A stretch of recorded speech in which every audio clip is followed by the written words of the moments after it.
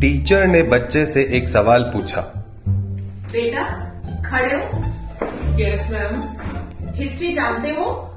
थोड़ा थोड़ा मैम अच्छा तो ये बताओ गांधी जी के बेटे का क्या नाम था? Hmm, गांधी जी के बेटे का नाम था दिनेशन। दिनेशन?